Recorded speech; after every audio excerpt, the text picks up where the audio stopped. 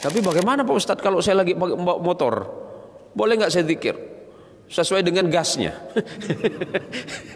Makin kencang Allah, tapi jangan teriak-teriak Pak. Yang dimaksud itu adalah hatinya yang berzikir kepada Allah.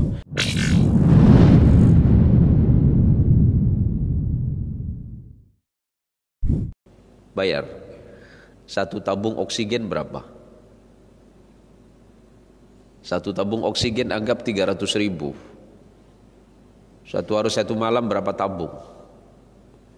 Anggap semalam satu hari satu malam satu tabung 300 ribu satu bulan berapa? Berapa pak? Hah? 9 juta.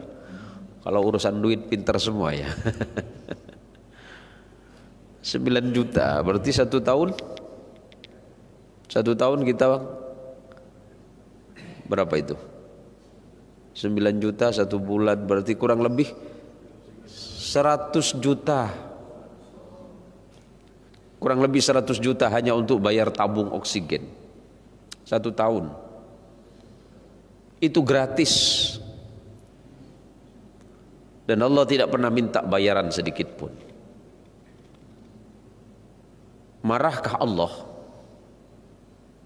Saya kasih contoh bagi ini yang sederhana saja. Kita masuk warung kopi. Minum kopi. Bis minum kopi biasa apa lagi? Hah? Ngambil apa lagi? Ngambil rokok. Habis itu makan. Tiba-tiba selesai minum, selesai ngopi, segala apa kita keluar. Tidak bayar.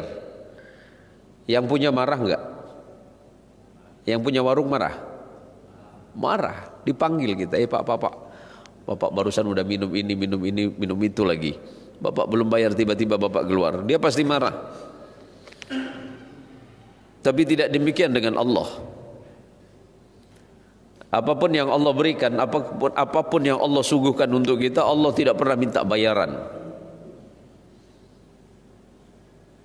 Tapi Allah tidak pernah mengirimkan tagihan tahunan. Allah tidak pernah mengirimkan tagihan bulanan.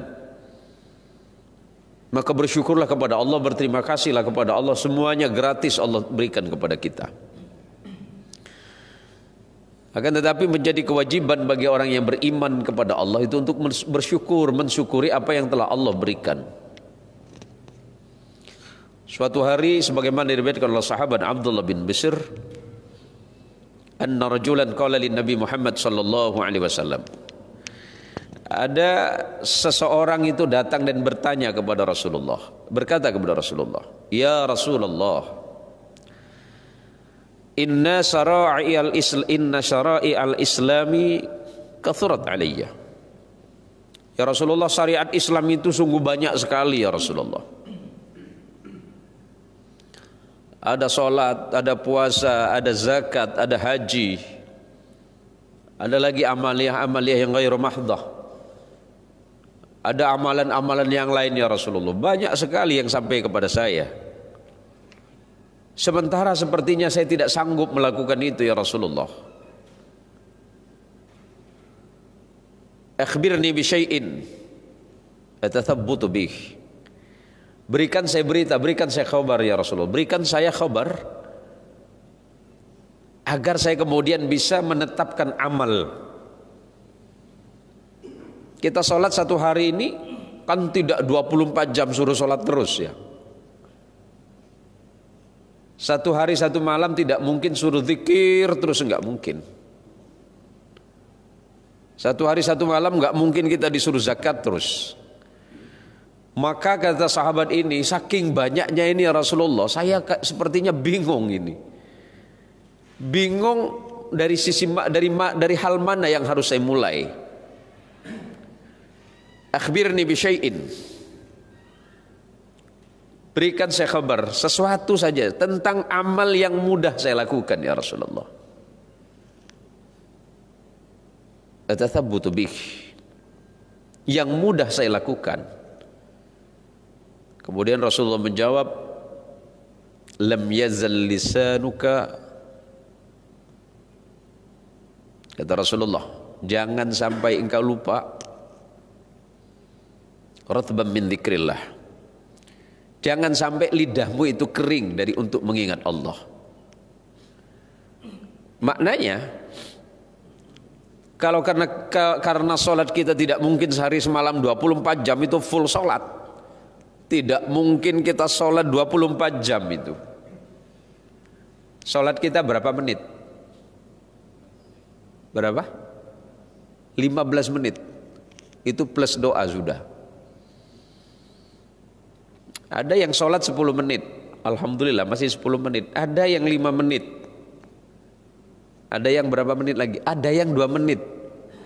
Ada sholat 2 menit. Ada kemarin Ramadan banyak itu. Sholat tarawih kita berapa menit? 2 menit.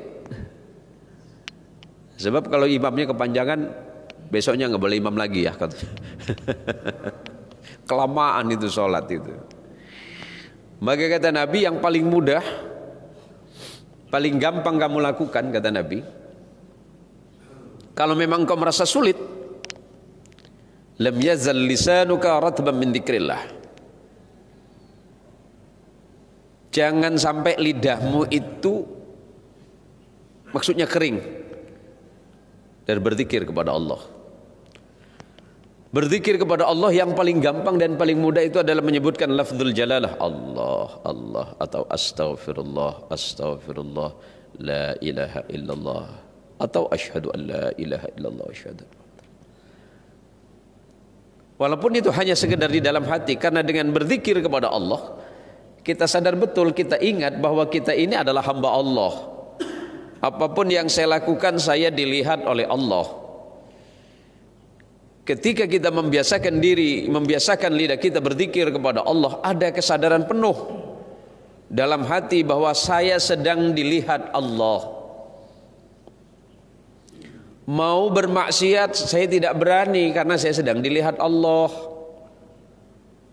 Mau melakukan perbuatan yang tercela kita tidak berani karena kita sedang dilihat oleh Allah. Mau meninggalkan sholat tidak berani Kenapa? Saya sedang dilihat Allah. Saya mau ngomongin orang, saya tidak berani karena saya sedang dilihat Allah. Kita memang tidak melihat Allah, tapi Allah melihat kita. Ketika zikir itu sudah dibiasakan, ditetapkan di dalam hati, maka dalam kondisi apa pun, kondisi seperti apa pun kita selalu ingat kepada Allah dan hati kita merasa tersambung kepada Allah. Maka oleh karenanya mudah-mudahan solat subuh kita kali ini bagian dari ikhtiar kita untuk mengingat keagungan dan kebesaran Allah Subhanahu wa taala. Pernah naik pesawat enggak? Pernah naik pesawat? Atau malah sering? Kalau naik pesawat ketinggian di atas 10.000 kaki atau 12.000 kaki ngelihat ke bawah. Kelihatan nggak di bawah? Nggak kelihatan ya. Terus seandainya tiba-tiba turbulensi udara, pesawat oleng, apa yang saudara baca? Apa yang saudara minta sama Allah? Minta apa? Minta mudah-mudahan selamat. Oh doanya orang itu kalau udah dalam kondisi takut, yakin nggak konsentrasi. Kalau kita dalam kondisi normal seperti ini, sholat habis sholat doanya bagus, doanya bagus, nggak ada masalah. Tapi dalam kondisi yang khawatir, kondisi takut, kondisi kalut, doanya aneh. Kenapa aneh? Karena memang tidak terbiasa mendekatkan hatinya kepada Allah, tidak mengistiqomahkan hatinya untuk berzikir kepada Allah. Orang yang senantiasa mengistiqomahkan atau melazimkan hatinya untuk berzikir kepada Allah, hatinya selalu tenang, fikirannya tenang. Ibu-ibu yang di belakang yang biasa zikir kepada Allah, lihat beras di belakang kosong, apa yang dibilang sama Allah? Bicara apa sama Allah? Suami yang keluar dari rumah bensinnya habis.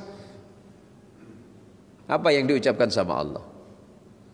Kalau orang yang sudah terbiasa hatinya senantiasa berzikir kepada Allah, dalam kondisi apa pun dia tidak pernah kalut. Dalam keadaan dan suasana apa pun dia tidak pernah tergopoh-gopoh, dia tidak pernah terburu-buru dalam hal apa pun karena dia sadar betul bahwa semuanya ini ada yang mengatur. Rezeki kita ada yang ngatur. Coba. Yang mencukupi rezeki kita siapa? Allah. Yang memberikan rezeki kita siapa? Yang mengatur hidup kita siapa? Allah. Tapi kenapa kita tidak pernah yakin bahwa semuanya itu Allah yang mengatur? Kalau Allah yang sudah mengatur, tidak mungkin itu berkurang. Tapi karena hati ini tidak dekat kepada Allah, maka cenderung khawatir, cemas, was-was, bahkan takut. Keluar dari rumah timbul rasa takut. Saya pagi ini dapat rezeki enggak? Kedengarannya biasa itu Pak. Dan kita menganggap itu biasa.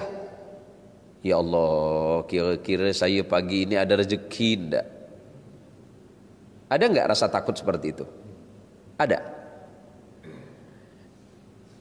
Kira-kira ini bisa dapat uang nggak? Kira-kira gaji saya bulan ini cukup nggak? Pernah nggak merasa takut gajinya tidak cukup? Pernah. Tagihan numpuk. Bayaran sekolah belum. Permintaan istri lagi banyak. Maka kadang-kadang takut. Karena memang manusia pasti akan dihinggapi oleh perasaan takut. Salah satu di antaranya rasa takut itu takut rezekinya tidak cukup. Takut uangnya tidak cukup. Takut gajinya bulan ini tidak mencukupi kehidupan keluarga. Padahal semuanya itu sudah ada yang ngatur. Sebenarnya rezeki yang Allah titipkan kepada kita itu sudah cukup. Yang membuat tidak cukup itu apa? Keinginan yang terlalu besar.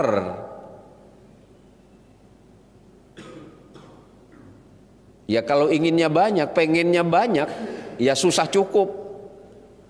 Pengen ini, pengen itu, pengen beli ini, pengen beli itu, dan itu tidak cukup.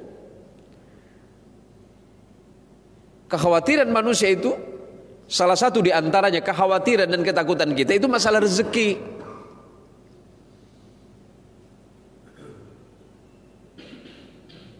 Man kana ghina'uhu min kasabihi lam yazal faqiran abadan. Jadi kira-kira seperti itu bahasanya.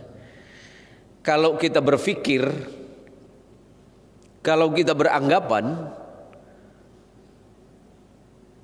bahwa yang mencukupi kita itu adalah pekerjaan kita,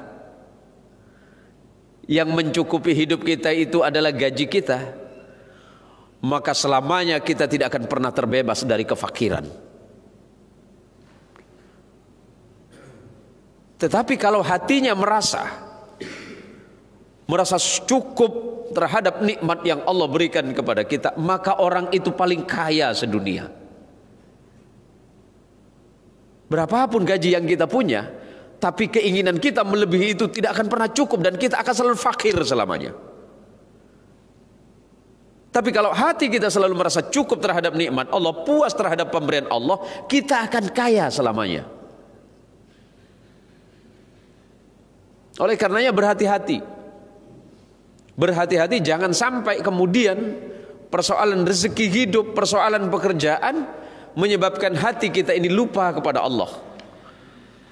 Kecenderungan hati yang lupa kepada Allah dia gelisah,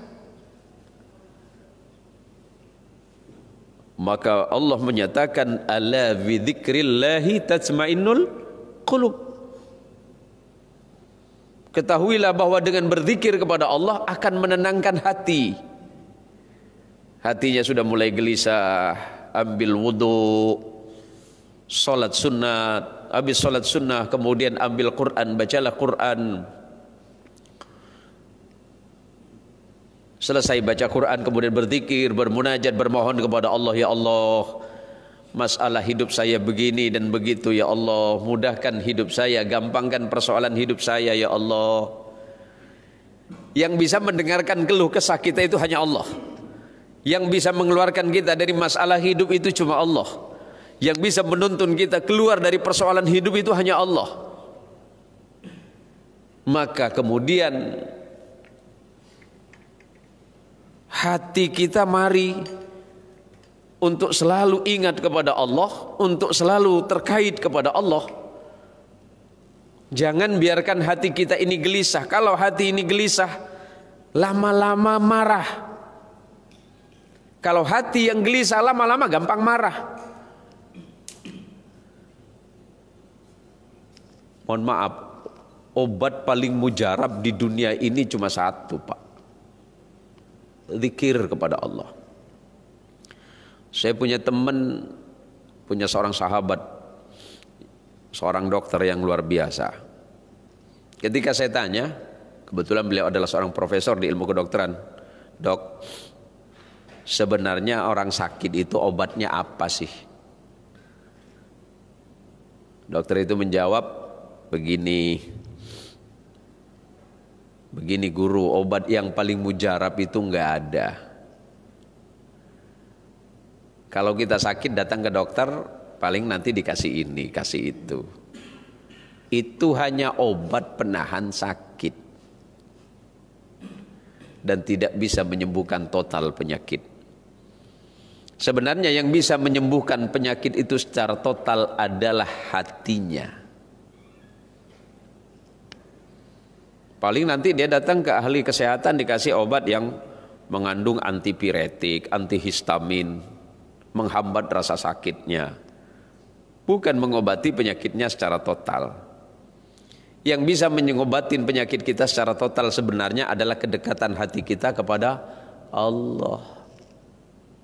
Ada orang datang ke dokter nggak boleh makan ini, nggak boleh makan itu. Yang darah tinggi katanya nggak boleh makan apa? Kambing. Kasihan kemarin dapat korban nggak bisa makan. Kolesterol nggak boleh makan, kambing lagi. Gejala stroke nggak boleh makan, kambing lagi. Punya riwayat jantung nggak boleh makan, kambing lagi nanti. Kok masalahnya di kambing semua sih? Sebenarnya masalahnya satu.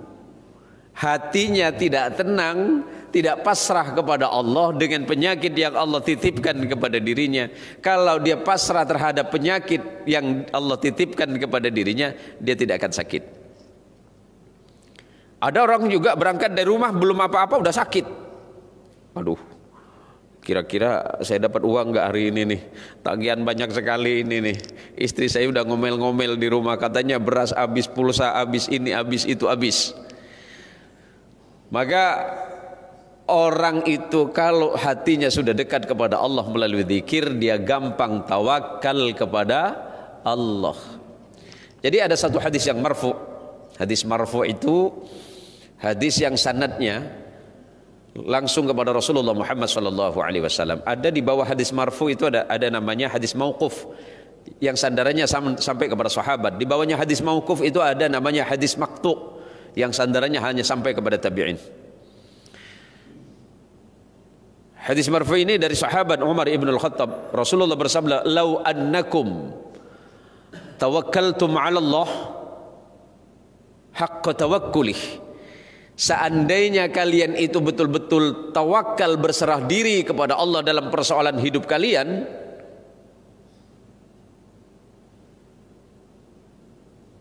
la razaqakum. Maka niscaya Allah akan memberikan rezeki kepada kalian. Kama tarzuqut tair sebagaimana Allah memberikan rezeki kepada burung. Taghdu himasa wa taruhu bitana Burung itu berangkat pagi-pagi. Eh, ini sebentar lagi burung berangkat nih. Taghdu himasa wa taruhu bitana. Burung itu kalau pagi berangkat dalam keadaan perut kosong, perutnya lapar. Wataruhu bitona, tapi nanti sore burung itu pulang dalam keadaan perut yang kenyang. Burung saja yang nggak punya HP. burung punya HP enggak, Pak? Hah? Siapa bilang nggak punya? burung itu nggak punya HP. Burung nggak pernah punya pulsa. Burung itu tidak tahu alamat. Burung itu tidak tahu rezeki hari ini di mana. Maka Rasulullah menggambarkan ternyata makhluk yang sungguh sangat kuat tawakalnya sama Allah itu ya burung. Burung itu berangkat dari tempatnya, dari sarangnya itu. Puluhan kilo, bahkan ratusan kilo dia terbang.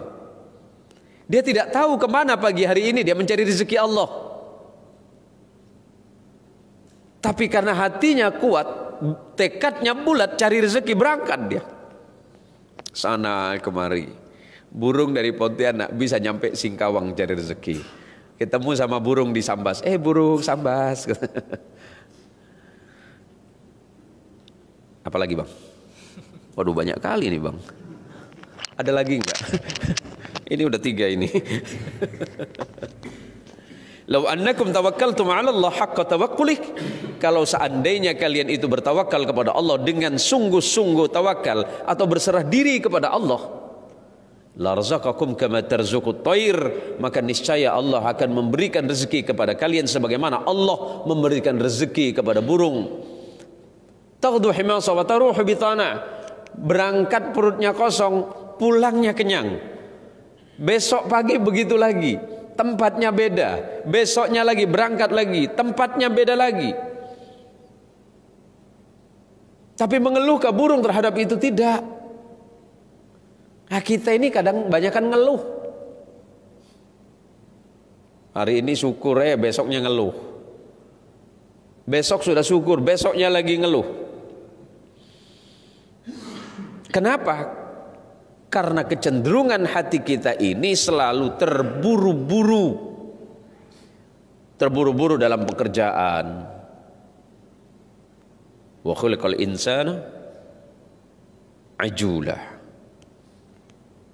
Dan Allah telah sungguh menciptakan manusia itu dengan sifatnya yang tergesa-gesa. Terburu-buru terus kita hidup termasuk menyikapi apa yang telah Allah titipkan kepada dirinya. Maka apa yang saya sampaikan pagi hari ini, mari kita mengajarkan kepada hati kita kembali bahwa semua persoalan hidup, masalah hidup dan kehidupan kita kalau kita kembalikan kepada Allah, kita gantungkan semuanya kepada Allah dengan sebulat-bulatnya, yang penting ikhtiarnya saja cukup. Berangkat dari rumah Bismillah tawakkaltu ala Allah wala haula wala quwata illa billahil aliyil azim. Ya Allah, aku berangkat pagi ini cari rezeki ya Allah, tapi semuanya aku gantungkan kepadamu. Aku kembalikan kepadamu ya Allah. Kalau memang ikhtiar saya pagi hari ini seperti ini, jawabanmu terserah engkau ya Allah. Ini kadang-kadang kita enggak masalahnya apa, doanya apa.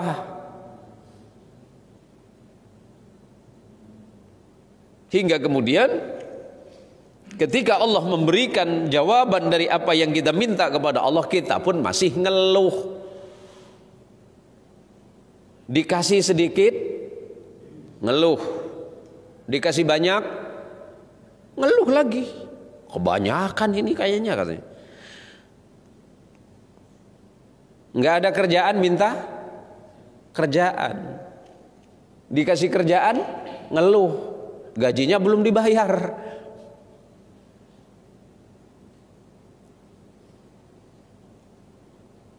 Dikasih sehat begini begitu, ujung-ujungnya sakit. Sakit nggak sembuh-sembuh, ngel ngeluh. Padahal dulu waktu sehat ke mana? Waktu sehat, waktu badan masih kuat, malas untuk salat, malas ibadah nggak mau doa sama Allah. Dia berpikir dia beranggapan bahwa wah ini saya masih kuat. Rezeki saya masih banyak. Uang saya masih banyak. Nggak ada masalah dengan hidup saya. Tapi ketika Allah kemudian mengirimkan penyakit penyakitnya nggak sembuh-sembuh mulai timbul keluhan kepada Allah. Padahal kemarin waktu sehat dia lupa, dia lalai kepada Allah terhadap nikmat sehat yang telah Allah berikan kepada dirinya. Maka jamaah sekalian yang dirahmati oleh Allah Subhanahu wa taala, kalau kita mengilas balik kembali kehidupan kita, rezeki Allah itu terlalu besar untuk kita lupakan. Rezeki dan nikmat Allah itu terlalu banyak untuk kita lupakan. Dari hal yang sederhana yang saya awali tadi, maka kewajiban kita adalah mensyukuri nikmat Allah la in syakartum la azidannakum wa la in kafartum inna azabi lasyadid kalau seandainya kita bersyukur terhadap nikmat Allah yang punya ilmu bersyukurlah kepada Allah dengan nikmat ilmunya pergunakan dengan baik ilmunya yang diberikan rezeki yang berlebih bersyukurlah kepada Allah terhadap nikmat rezekinya Bersyukurlah dengan rezekinya. Rezeki yang kita nikmati bukan punya kita saja, tapi ada hak dan milik orang lain di dalamnya. Ada hak fakir miskin, ada fakir miskin, ada orang-orang yang tidak mampu, yang pantas untuk kita berikan di dalamnya. Yang punya jabatan bersyukurlah terhadap nikmat jabatan yang Allah titipkan kepada kita. Karena jabatan kita tidak lama. Paling umur 60 sekian kita pensiun. Nanti kadang-kadang pensiun, udah pensiun mau berbuat. Padahal kesempatan kita bukan saat pensiun, kesempatan kita sekarang. Maka yang disebut berzikir kepada Allah itu bukan hanya sekedar mengucapkan Allah, Allah, Allah itu saja. Tetapi ketika menjalankan nikmat Allah dengan sebaik-baiknya itu bagian dari kata syukur dan zikir kepada Allah. Zikir secara zahir memang Allah, Allah, Allah atau astagfirullah. Duduk kita la ilaha illallah. Lagi diam astagfirullahaladzim. Lagi duduk la ilaha illallah Muhammadur Rasulullah. Lagi tiduran la haula wala quwata illa billah. Maka hidup kita insya Allah akan terasa tenang. Nikmat sekecil apa pun akan terasa besar tapi orang yang tidak diawali hidupnya dengan rasa syukur sebesar apa pun rezeki dan nikmat yang Allah berikan kepada dirinya, dia selalu gelisah, selalu khawatir, selalu takut.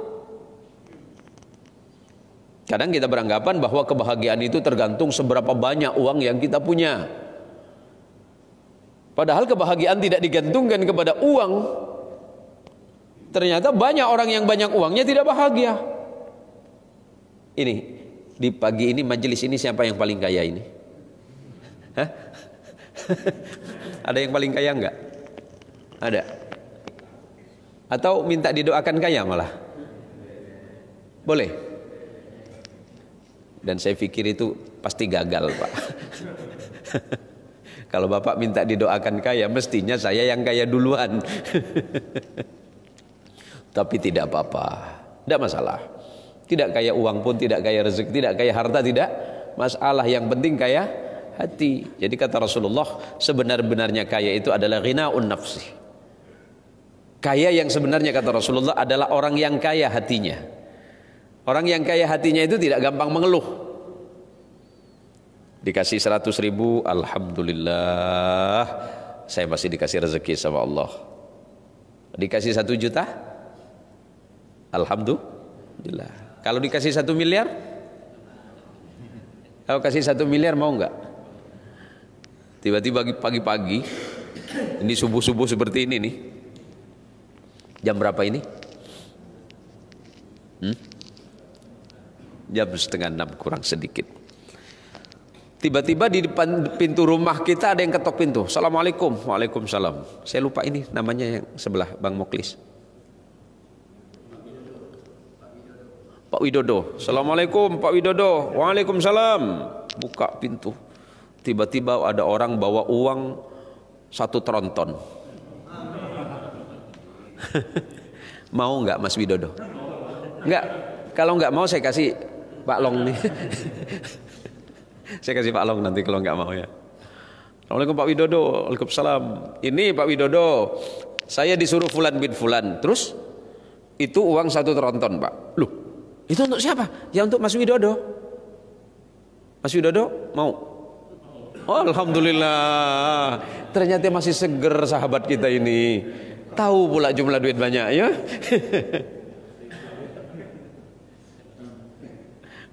Udah diterima. Setelah diterima, Pak Widodo nanya, nanya, nanya, loh, saya bingung ini, sampean nganterin duit sebanyak ini dari dari siapa ya? Begini Pak Widodo, perkenalkan nama saya Malaikat Maut. Ah, masih mau nerima juga? ah, masalahnya di situ. Ya pasti nggak mau Pak Ustadz. Nah tapi kalau kita ini kalau kita ini kalau urusan dengan hal yang bersifat dunia duniawi ini kan pasti pengennya yang banyak. Maka waktu kita berdoa ya Allah berikan aku rezeki yang banyak ya Allah. Allahumma rizukna rizqan halalan kathira kan begitu. Ya Allah berikanlah aku rezeki yang halal banyak lagi ya Allah. Dapat rezeki banyak saja Alhamdulillah. Apalagi istri banyak pak. Ada nggak yang minta Ya Allah pagi ini berikan aku istri banyak. Ada? Pak Long? Pak Long minta macam itu enggak? ya Allah berikan aku rezeki yang banyak Keturunan yang baik Kehidupan yang sehat. Pasti itu mintanya. Allah akan berikan semua itu. Yang penting kita ini tidak lupa kepada Allah. Yang penting kita tidak lalai kepada Allah من يتق الله يجعل من يتق الله يجعل له مخرجا ويرزقه من حيث لا يحتسب Jadi barang siapa yang bertakwa kepada Allah Siapa orang-orang yang bertakwa Hidupnya yang senantiasa berada di jalan Allah Lidahnya kalau berbicara tidak lepas dari kalimatun thayyibah lidahnya dijaga, hatinya dijaga, fikirannya dijaga.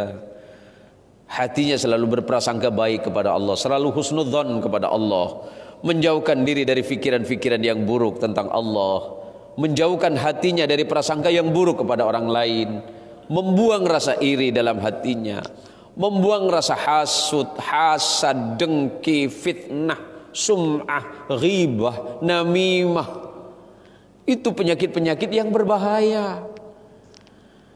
Kalau tadi kita bicara tentang konteks kesehatan, ada orang yang bilang, oh si Anu itu sakit karena kebanyakan makan daging.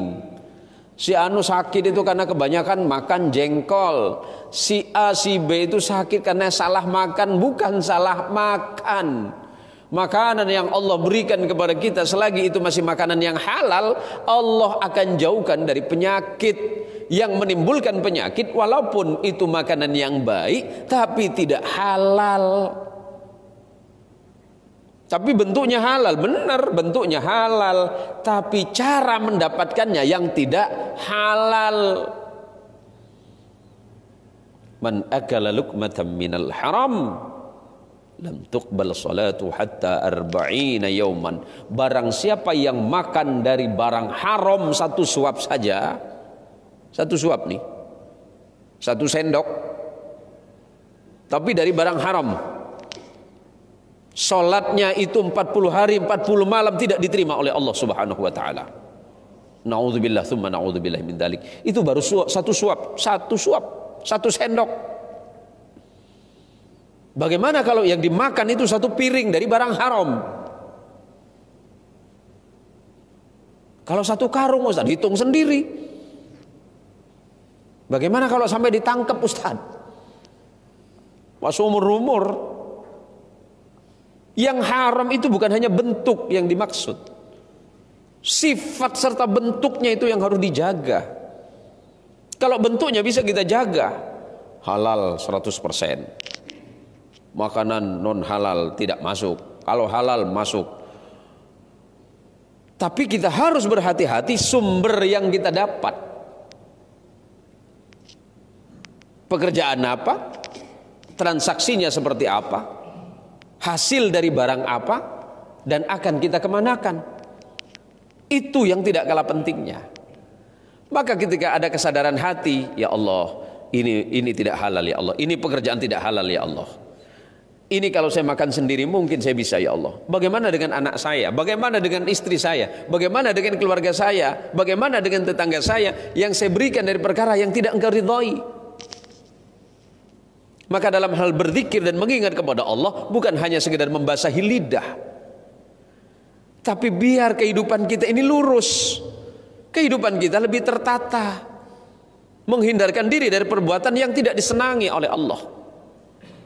Maka insya Allah kalau hati ini selalu dekat kepada Allah dalam kondisi dan suasana apa pun maka Allah akan mengingat kita. Jadi Udhkuruni adhkurukum washkuruli wala takfurun. Perintah Allah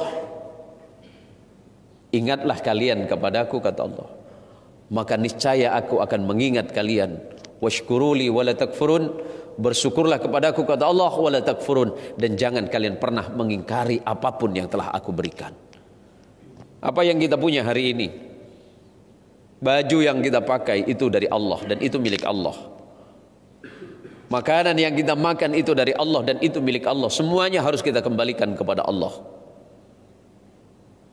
Jabatan yang kita punya, yang kita pegang hari ini itu dari Allah dan pada akhirnya akan kita kembalikan kepada Allah.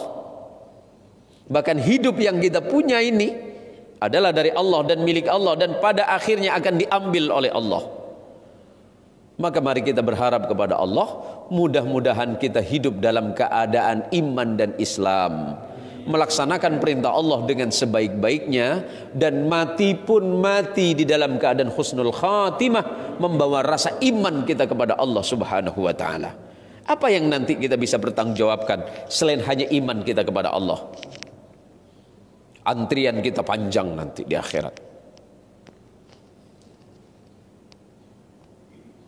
Masa penghakiman Allah itu lama. Jadi mudah-mudahan saudara-saudara yang diberikan nikmat kekayaan oleh Allah dapat dipergunakan dengan sebaik-baik mungkin. Jangan sampai nanti menghambat antrian kita di akhirat. Jadi kan ada lucu-lucuan itu. Apa kita gambarkan sama anak-anak kita, Pak, kenapa kita tidak boleh kaya terlalu banyak? Bukan tak boleh kaya terlalu banyak, nah.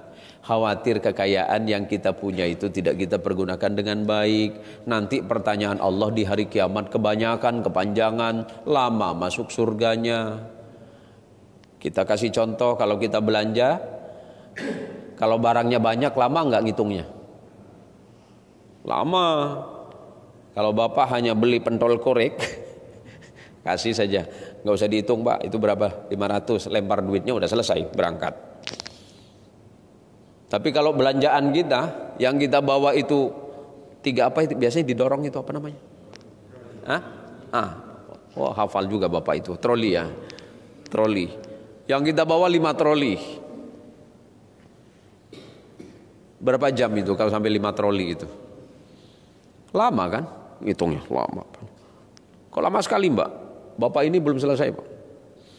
Sama nanti di akhirat. Mas Widodo ditanya.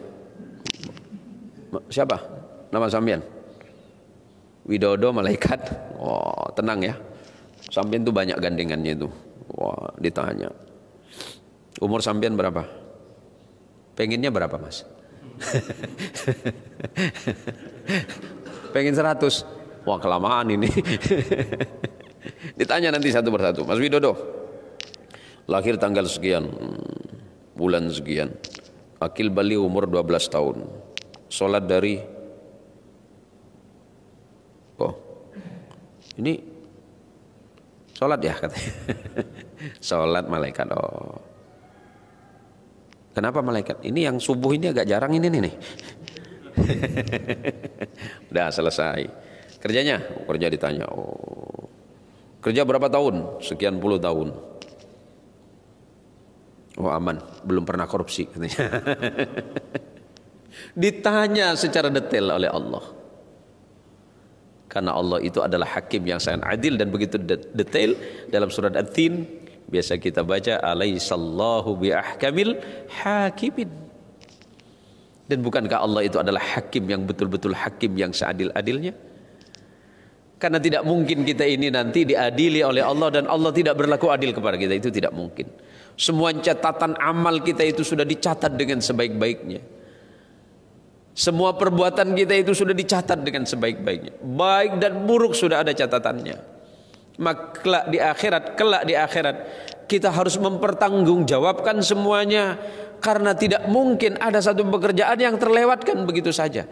Bahkan detakan hati ini pun ditanya oleh Allah. Satu menit berapa detakan jantung kita? Hah? Berapa? 60, 60 detakan normalnya ya. Nah setiap kali detakan itu sama dengan satu menit berarti 60 detik. Berarti satu menit jantung kita 60 detak. 60 detakan jantung kita. Kalau satu detakan Allah, Allah, Allah. Berarti minimal, minimal. Hitungannya satu menit hati ini berzikir 60 kali.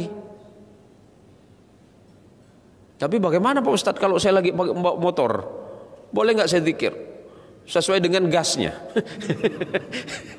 Makin kencang Allah, tapi jangan teriak-teriak Pak. Yang dimaksud itu adalah hatinya yang berzikir kepada Allah. Jangan nanti kita pakai sepeda motor, pakai sepeda motor. Ini Pontianak ini kan udah padatnya luar biasa. Ya padat. Ini pagi-pagi biasanya kita macet. Terus ngelihat sebelah kiri, Allahu Akbar. Allah Akbar. Nengok ke depan, Allahu Akbar. Masa saya harus tutup mata Pak Ustaz? Di depan saya itu ya Allah Pak Ustaz, maksiat besar Pak Ustaz. Ya iya, jangan terlalu pelototin. Astaghfirullah, astaghfirullah. Lihat ke samping, Masya Allah, la haula wa la quwata illa Ya jangan peduliin Pak. Ini enggak. Oh mungkin begini Ustadz nengok boleh tapi bareng istighfar ya Ustadz ya. Atau ngelihat boleh tapi dibarengi dengan Alhamdulillah. Nengok yang agak mulus Alhamdulillah.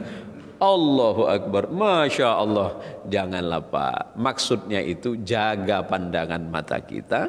Jaga hati kita dari hal-hal yang dilarang oleh Allah. Yang namanya barang seperti itu kan nggak mungkin nggak dilihat. Masa kita mau pejam mata? Ini maksiat besar Pak Ustaz. Pakai motor pejam mata. Nabrak-nabrak nanti. Masya Allah, Masya Allah, Masya Allah, Astagfirullah, Astagfirullah. Biarkan saja, tapi jangan terlalu diperhatikan.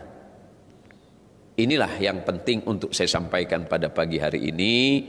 Mudah-mudahan Allah Subhanahu wa taala senantiasa menjadikan kita orang-orang yang beriman, bertakwa di jalan Allah Subhanahu wa taala, kemudian senantiasa istiqamah dan tawakal di jalan Allah Subhanahu wa taala, tawakal di dalam hal apa pun, maka insyaallah Allah akan memberikan petunjuk, Allah akan menuntun kehidupan kita dan mudah-mudahan kita hidup dan mati dalam keadaan beriman kepada Allah, menutup mata kita yang terakhir kali dengan mengucapkan kalimat la ilaha illallah Muhammad Muhammadur Rasulullah. Semoga Allah Subhanahu wa taala senantiasa memberikan ridha bagi kita semuanya. Majlis yang ada di Masjid Al-Aqsa ini dan mudah-mudahan ketika kita kelak pun wafat kita meninggal mudah-mudahan bisa diteruskan oleh anak-anak cucu kita karena inilah yang akan menjadi amal jariah kita ketika kelak kita menghadap kepada Allah Subhanahu wa taala. Terima kasih dan mari kita akhiri dengan doa. Mudah-mudahan apa yang kita laksanakan ini senantiasa diridai oleh Allah Subhanahu wa taala amin ya rabbal alamin alhamdulillahi rabbil alamin wassalatu wassalamu ala sayyidil mursalin rasulik wa nabika Muhammadin sallallahu alaihi wasallam Allahumma bi rahmatikal wasi'ah wa bi ni'matikal 'azimah wa bi alaikal jasimah ya rabbana ya rahim ya ghafur la yaghfir dhunubi illa anta ya Allah ya rabbal alamin Allahumma ighfir lana dhunubana wa li والدينا وارحمهم كما ربونا صغارا اللهم اغفر لجميع المسلمين والمسلمات والمؤمنين والمؤمنات الأحياء منهم والأموات. اللهم اغفر لنا مغفرة كثيرة من عندك وارحمنا إنك أنت خير الراحمين. اللهم إنا نسألك رضاك والجنة ونعوذ بك من سخطك والنار. اللهم يا الله يا حي يا قيوم نسألك أن تحمي قلوبنا بنور معرفتك يا الله وبنور رسولك محمد صلى الله عليه وسلم. اللهم يا الله يا عالم السر وأحفى علمنا مما جهلنا وذكرنا مما نسينا. اللهم تقبل منا صلاتنا وركوعنا وسجودنا وقيامنا وقعودنا بالإيمان. اللهم نوير قلوبنا بنور الإيمان ونوير قلوبنا بنور القرآن وحسن مقاصدنا بقرآن بكرامة القرآن الكريم.